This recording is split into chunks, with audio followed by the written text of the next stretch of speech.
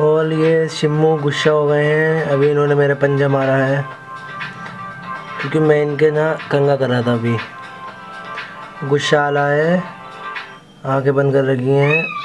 बहुत मुँह बनना है गुस्से में। अभी देखो आवाज़ सुनाएँगे या किटन की तो कैसे जा रही है बाहर